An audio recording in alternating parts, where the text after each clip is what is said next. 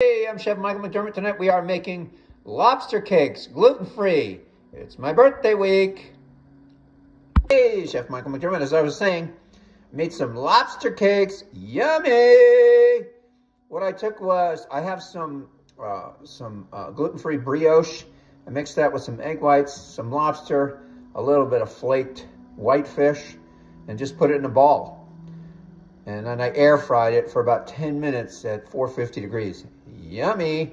And in the back, I made some fresh, uh, what do you call that? Tartar sauce. It's got a little spice to it, and I, I used some organic relish for that. And then I made a little holder for, the, for it with some organic tomato.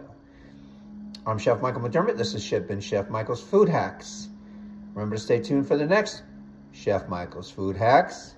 And when you eat well, you live well.